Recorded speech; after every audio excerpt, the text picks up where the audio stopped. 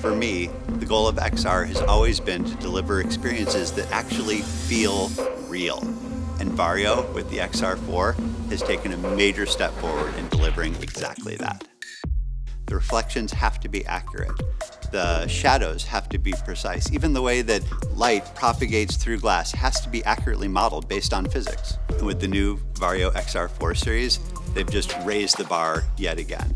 The visual field is wide, the pixels super high resolution, bright and beautiful, and with their mixed reality capabilities with the new higher resolution front-facing cameras, it's just phenomenal.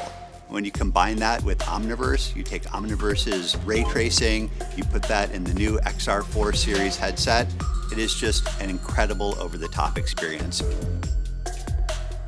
You'll be able to bring collaborative teams together, everybody seeing a photorealistic view of the full fidelity asset, seeing reflections and refractions, really accurately capturing the physics of light, it's gonna be a game changer it feels like you're not wearing a headset. It looks that accurate.